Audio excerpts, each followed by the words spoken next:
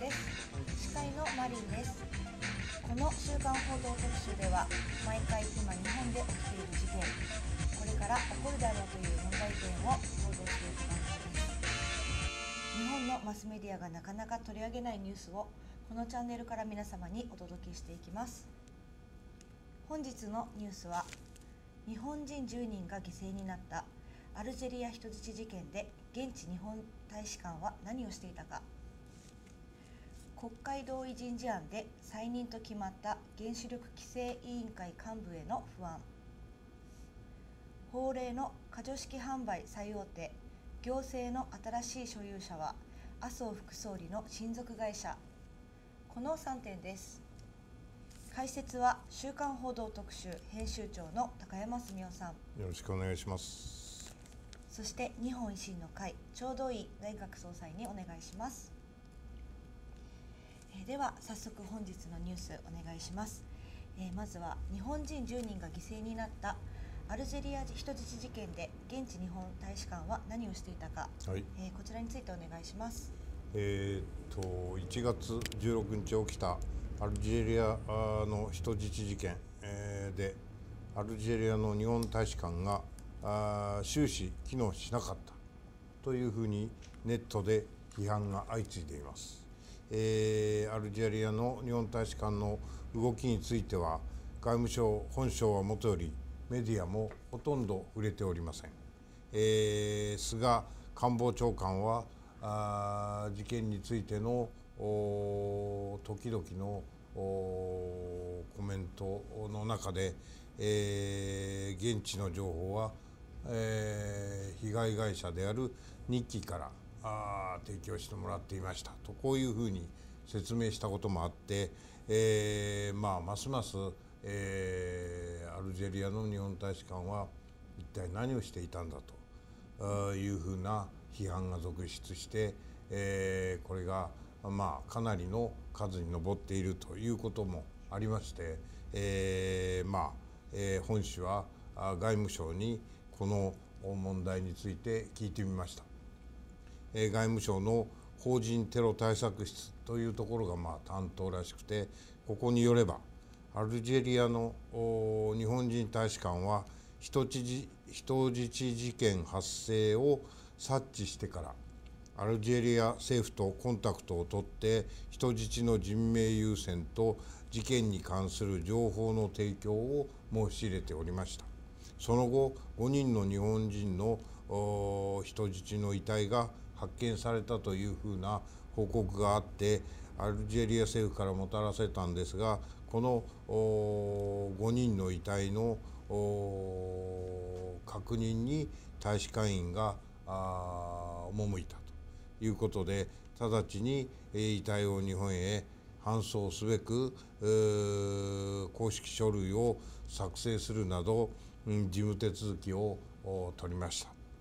えーそれで1月23日に政府専用機の到着直後に、えー7人と言われていた、えー確定していたあ人質日本人人質の遺体が、えーさらに、えー2体発見され、えーこれを確認して、えー全部で9名の遺体があ専用機で日本へ帰ってきていると。でこれらの事務手続き及びその今後のいわゆる、えー事件の検証を含めた、えー報告について、えー詳細をあのーえー説明してくれるようにということで、えー現地政府に、えー申し入れをしておりますと。で、えーいわゆる今回の大使館の人員というのが平常時は13人でありますが、えー事件が終わった片付いた、えー1月の24日時点では、えー周辺の日本大使館から応援を得て五十数人の職員が事件の対応に当たっていたと。こういうふうに、えー私に説明いたしました。で人質事件ではアルジェリ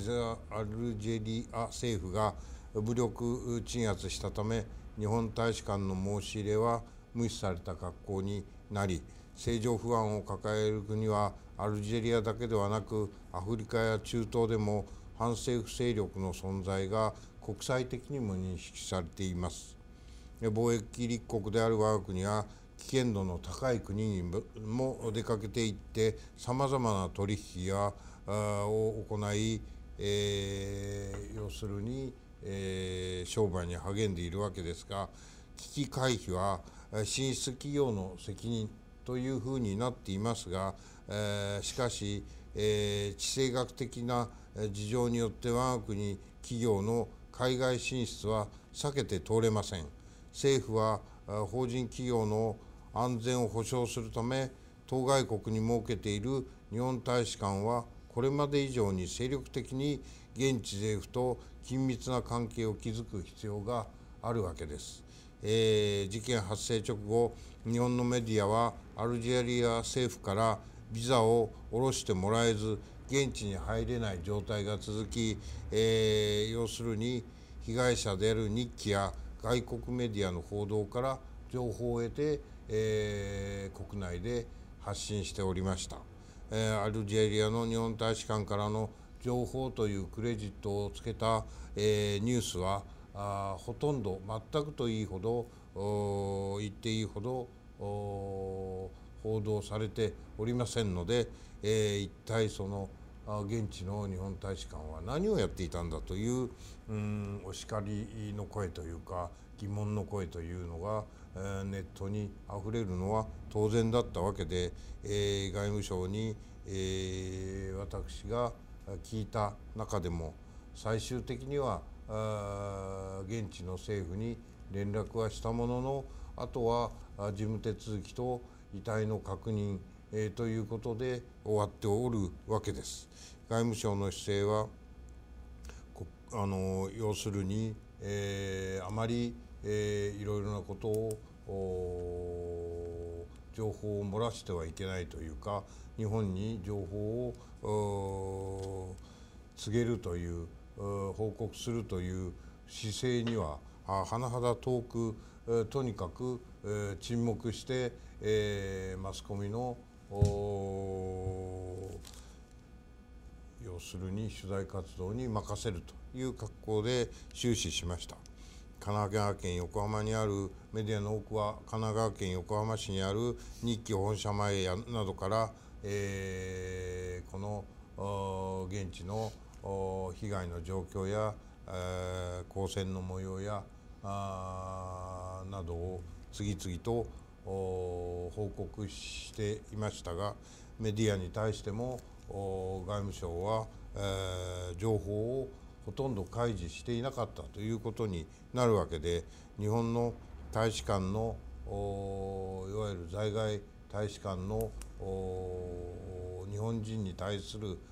姿勢あるいは、えー、国に、えー、どういう方向でメリットをもたらすのかあるいは国民に、えー、要するに暗記情報も含めたさまざまなサービスを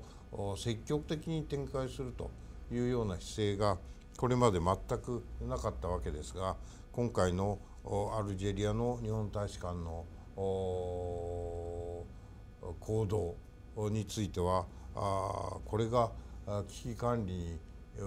対する外務省の基本姿勢なのかということで国民があのアルジェリアの日本大使館に対して非常に不信を抱いていたというのを改めて、えー、その通りだなと思わざるを得ませんでした。以上です。ありがとうございます、えー、では総裁お願いします、えー、まあ日本の政府に入った情報は大使館ルートからはほぼゼロでしょうこれは。えー、全くアルジェリア政府との連絡がスムーズにはいってない。で安倍総理はあ人命を尊重してできる限り人質の中の犠牲者を日本人からは出したくないと、こういうことで閣議開いてるわけしかしこれはアルジェリア政府には伝わってないわけです。そうですね。ね、日本のマスコミで日本で発表してるだけ、アルジェリア政府は、もう初めから人質はある程度はもう犠牲にし犠牲にしてでも、いわゆるいわゆる過激派アラブ過激派の、イスラム過激派のいわゆるテロリストは、全員殺すという方針が出てるわはいはいけね、そうすると当然テロリストだけ殺して、人質が全員救出されるはずがないわけだから、ですね。まあアルジェリア政府の、あ強硬方針については、ね。これはもう当然あ日本政府としては、覚悟してなきゃいかん。わいまだに10名は行方不明10名は行方不明、もう殺されてるの分かってても行方不明と発表してるわけですよ、だからまあ非常に、えー日本の情報いわゆるうん収集能力というものが、まあこれによってもですね、えー脆弱なものだと、弱いということをもう世界にえー証明したいの。でもういわゆるテロリストの、いわゆるムスタムベルフィルターはですね、ええ日本人を狙えと言最初から、日本人を狙え、次にイギリスを狙え、そしてフランスだ。と、ね、日本人はとにかく標的になってるわけ、でこういうものについてもですね、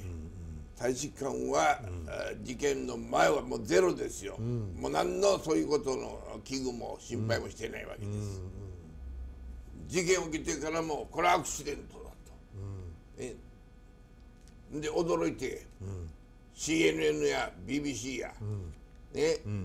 そのいわゆるアフラアアフラディジーラーの、そのニュースを見て、本国と連絡取ってるだからまあ日本の共同通信とか、え時事通信とか、通信社も中断おらんわけだ。から、これは実に、えー国際情報のですね、えー収集能力と、そしてそれの処理能力、これは外務省がいかに弱いかということですね、これ露呈しているわけです。でこれはもう勝手にこの日本の福田総理の時にえ戸籍に入ってた赤軍をえはい。ええあの人質日本航空の人質と交換したわけ、えはいはいええ。どこ行ったかとこれ、ええ。人質たち、はい。えー人質を解放する代わりに5人のえ赤軍を小菅から連れ出したわけだ、えはい。はい。超法規的ねな超法規的に、えだからその人命は、えー一番だと、えーで何よりも尊いと言って、どこ行った？これアルジェリア行ったん。だ、あの時は、あそうでしたね。うん。アルジェリアでそのテロリストをかくまったわけですその時代からアルジェリアにはテロをかくまるかくまう、うん。そういうそのシステム。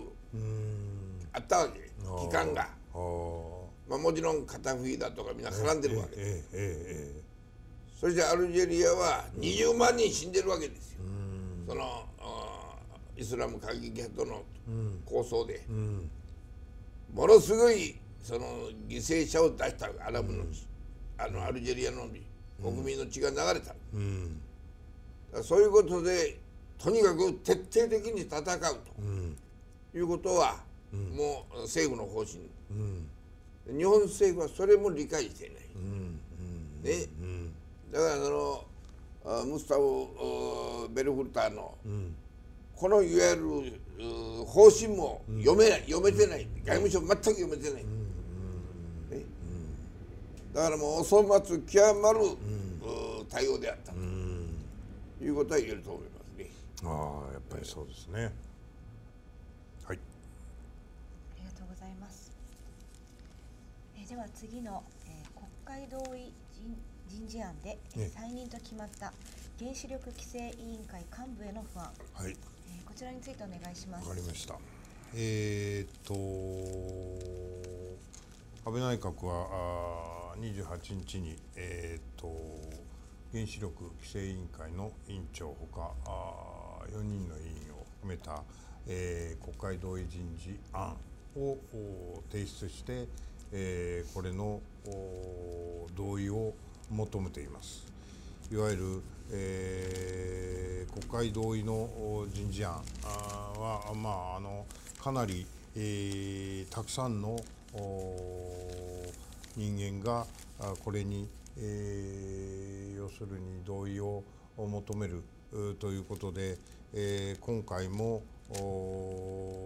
えー、原子力規制委員会のほかに地方財政審議会の委員公安審査委員長公安審査会の委員3人というような、えー、14人合計3機関で14人の、うん、委員の人選を行って、これを同意、国会で同意をして、承認されるとこれが機能していくというものなんですが、今話題の原子力規制委員会の田中俊一委員長ほか大島健三氏ら全部で5人の委員の同意を求める案の提出が行われ、えー、民主党などは、うん、早々とこの案に賛成を表明しています。えー、したがって、まあ、あねじれ国会というようなこともある中で、えー、この人事案は承認されていくと思います。えー、しかし、えー、原子力規制委員会は民主党時代に作られた、うん、もので、えー、その原子力規制委員会の要するに、えー、目的というのはですね、えー、いわゆる、えー、非常に、えー、悪分ではありますが、えー、こうなっています。原子力利用に関する政策にかかる縦割り行政の弊害を除去し並びに一つの行政組織が原子力利用の推進及び規制の両方の機能を担うことにより生ずる問題を解消するため原子力利用における事故の発生を常に想定しその防止に最善かつ最大の努力をしなければならないという認識に立って国際的な基準を踏まえて原子力利用における安全の確保をならを図るため必要な施策を策定しまたは実施する事務を一元的に司るとともに委員長及び委員が専門的知見に基づき中立公正な立場で独立して職権を行使する原子力規制委員会を設置しもって国民の生命健康及び財産の保護、え、環境の保全並びに我が国の安全保障に資することを目的とするというなかったらしくてどこが主語なのか実語なのかというのが分かりにくいわけの分かんないとこなんですが要するに民主党は30年後に、えー、原子力発電所を全廃しますよというようなあ党勢を立ててこれに基づく人選を行っているので、えー、とにかく原子力発電所が、えー、菅直人首相の時にほぼ全面的に、えー、停止休止しているのをこれをもう二度と動かさないというような方向でさまざまなあの問題点を指摘し、えー、稼働が可能となっている発電所をとにかく休止させるという方向でさまざまあ動いている組織です。この委員長、委員4人、合計5人が再任されるということになれば、いわゆる日本の原子力発電所は全く動かないということになります。で、今日の読売新聞を見ても分かりますが、いわゆる、えー、日本電源の敦賀原子力発電所の問題で、この2号機の原子炉の縦や下を走る活断層は要するに、え、これは危険極まりないものなのでこれを放置することはできないつまり、え、2号炉はとにかく廃炉に持っていくということを言っているわけです。で、えー、その他にも柏崎であるとかあいうようなものにもえー、活断層の問題を持ち出して、えー、これを稼働させない。ということで、えー、日本の中小企業などを含めたあいわゆる製造業の、えー、電力需要を大幅に規制する。あるいはあ電力料金を高騰させる要因を長々と続けていく。あるいは、えー、火力発電所の点検も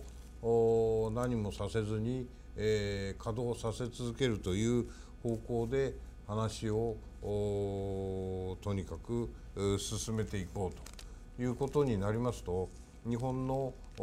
経済的な発展あるいは、えー、復旧復興の元となるエネルギー政策は根本から立て直さなければなりませんがこれは石油資本のメジャーの思うつもりになるだけでなく日本の科学技術の著しい、えー、発展阻害という原因を作ることになって後世の日本の歴史家はこの原子力規制委員会というものの存在を激しく指導すると私は思います。いわゆる、えー、こういうふうな、うん、人たちがあ要するに変更に変更を重ねた活断層問題を中心とする危機意識の繰り返し、えー、これによって例えば日本の大都市の中にも活断層が走っておりますし、えー、トンネルやあそれから新幹線の要するに、えー、線路の横切る活断層の問題や高速道路に、活断層が高速道路化を通っているというような問題もあって、活断層といえばもう危険極まりないというふうに繰り返し、えー、狼少年のように言うことがあ日本のメディアの賛同を得て、えー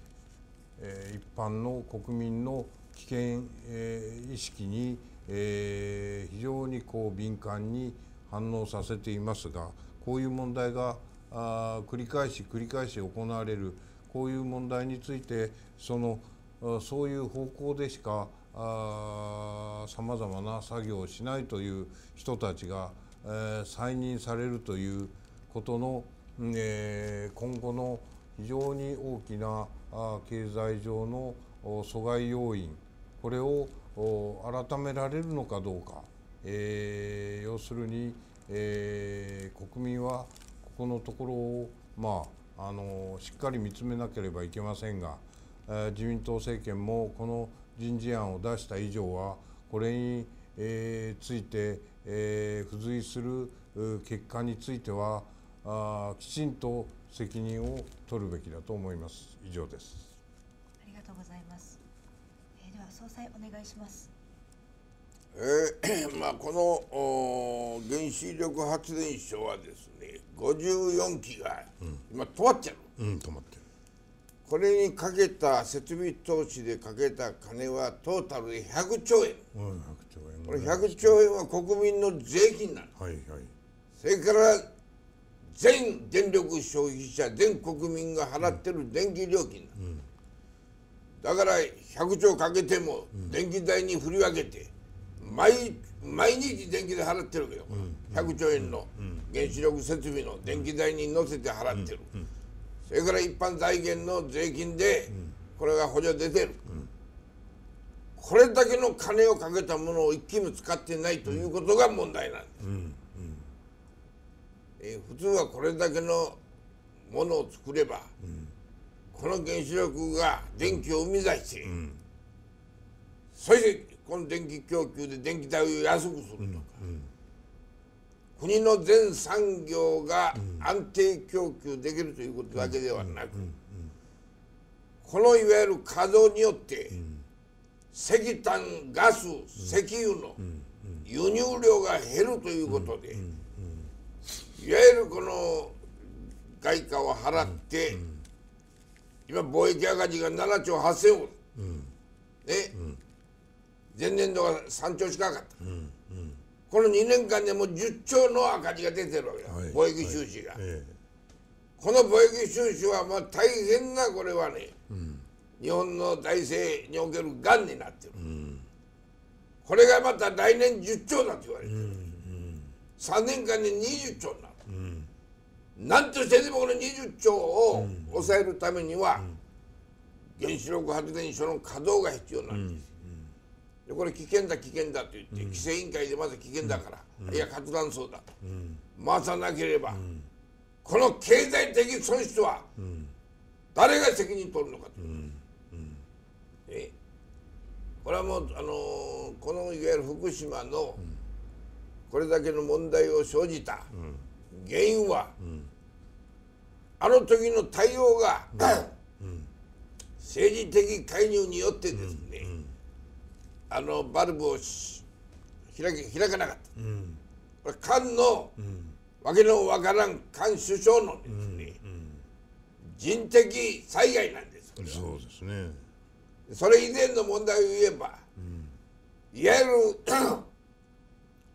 停電の段階で、いわゆる自家発電の油タンクがひっくらいて出なかった、これは建設会社の手抜き工事なんです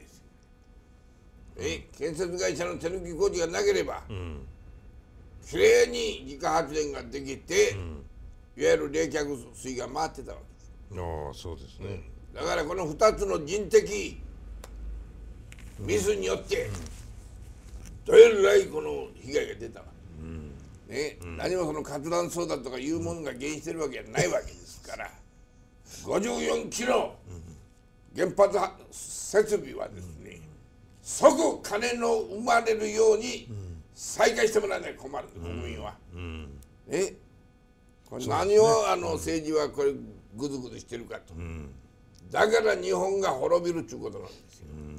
本当にそうですね。そうです。ありがとうございます。えー、では次の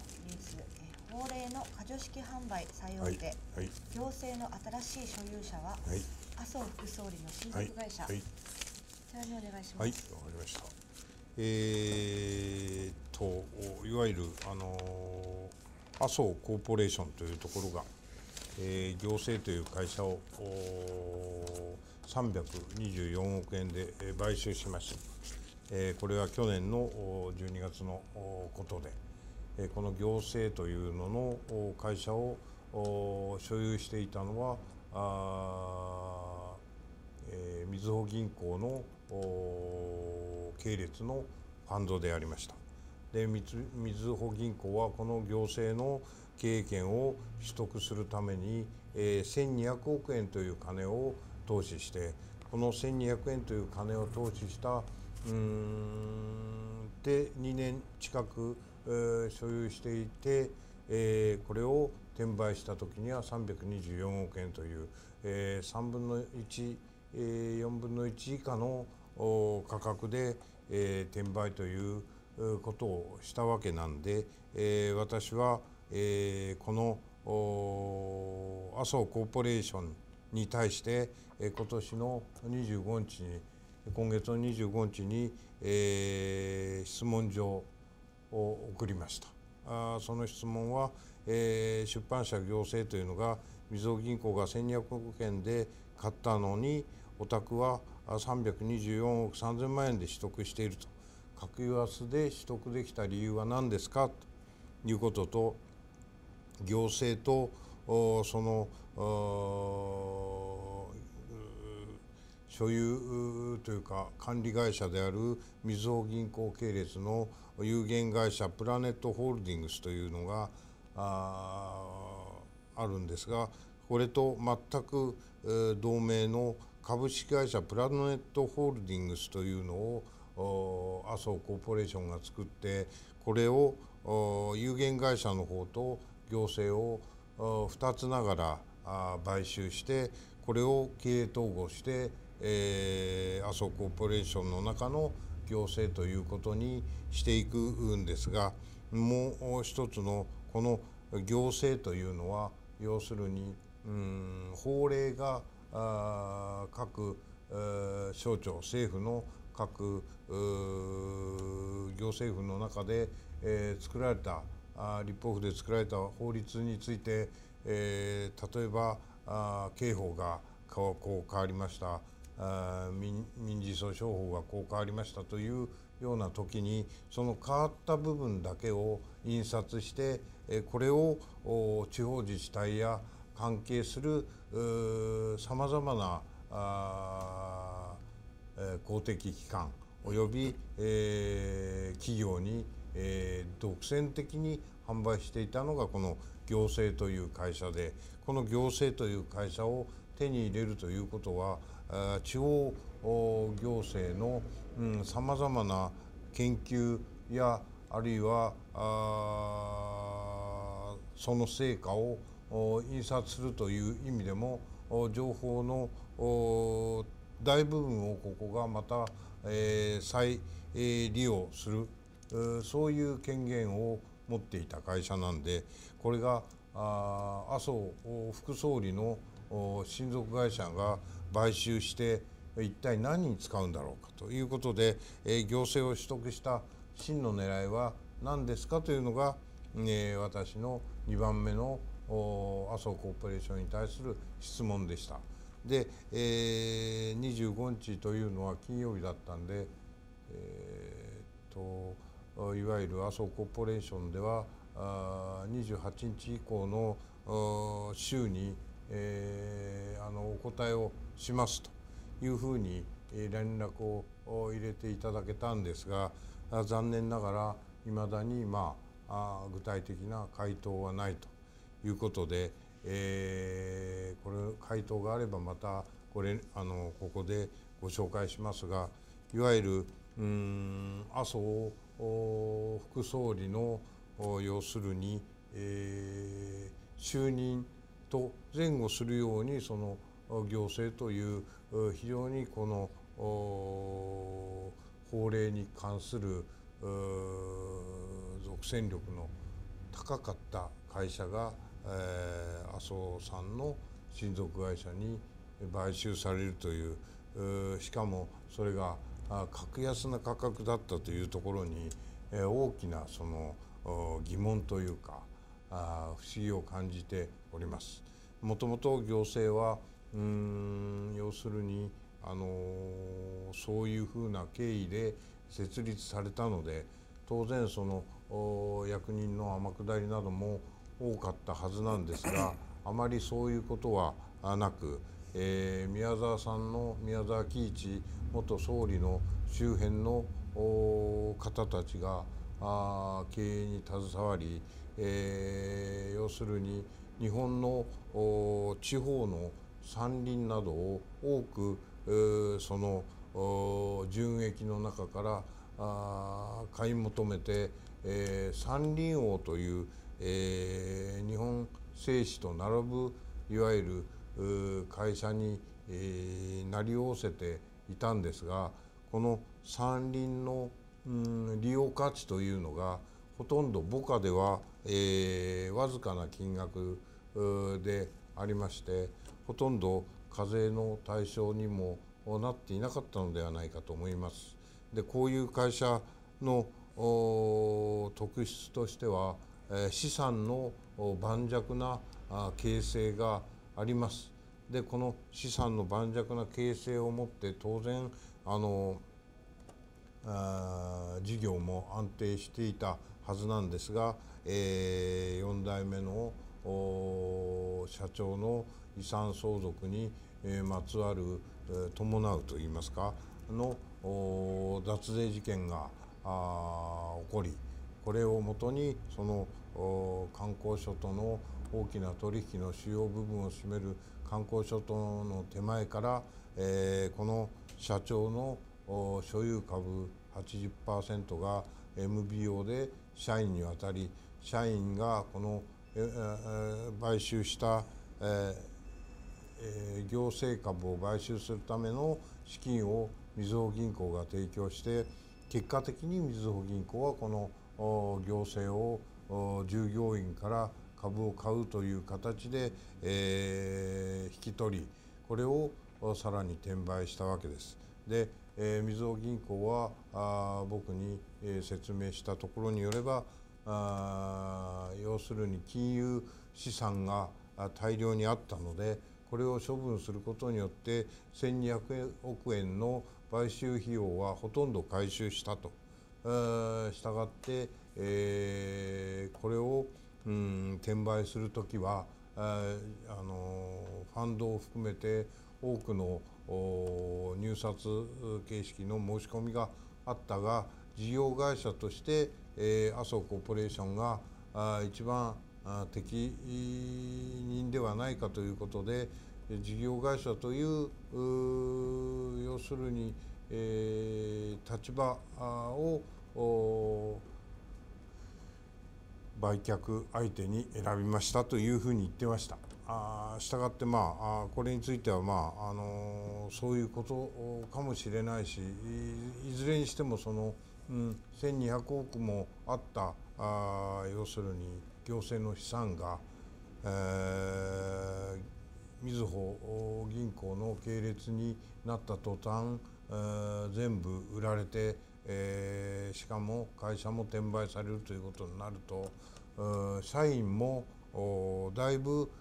会社に対する資産目減りによって、えー、クビになったりあるいはあ大量に、えー、解雇されたりと解雇されることはもちろんですが役員も麻生コーポレーションになった途端に、えー、半数以上が、えー、辞任退任させられております。そういう中で、えー、一体、えー、この売買劇の背景には何があるのか、えー、ものすごく多くのメディアの注目されるところで、えー、改めて取り上げてみました。以上です。ありがとうございます。では総裁お願いします。まあこの問題のまあ重要なポイントは財務省が絡んでいると金融庁メガバンク政治と、うん、このいわゆる国民の預金をですね、うん、えー、特にこのみずほあたりは、うん、不良に不良物件を買ったり、うん、えー、でたらめなところに、えー、優勝したり、うん、なぜそういうことをやるかといえばメガバンクになる時にまあどうでもいいような男が頭取になってるわけです。ね、これは政治指導でなってるから。はいはい、そうするとあ私は何々先生のおかげでこの頭取になれたと。うん、なら公銀から来た人富士銀行から来た人第一関銀から来た人はみずほにおるわけです。はいはい。ね、私は第一関銀出身で何々先生のお世話で金融庁のお世話で、うん、財務省のお世話でこの、うん服に入ったと、はい、わしはそれで頭取になったと、うん、だからそういうサラリーマン頭取たちがですね、うんうん、おいこうせいたはい分かりましたと。こう、チンチンするわけです、そういういわゆる政治のいわゆる政治家の利権の財布のような状態、はい、国民の預金が出たらめにその流れちゃう、うん、もう一生懸命預金しても金利はゼロ預金金利はゼロ、えーね、預けてる金はどこへと消えていく、うん、えで一番大きなのはアメリカ国債だよけど、うん、それからハゲタカファンドにバンバン流れる、うん、まあ、いろんな意味でですね、まあ政治と、それから金融機関メガバンクと、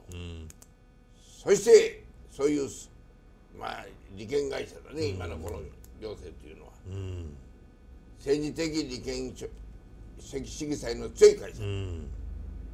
これが癒着して垂れ回してるということ、ね。必ずここは不正があるんです、東京地検特捜部の対象にならなきゃいかんねやけど、検事たちも毎晩向こう島で酒飲んで、談合ばかりやってるから、ね、この闇国家闇社会になってる日本は。そうですね試食が、試食じゃなくなって局直みたいになってですね、かりました。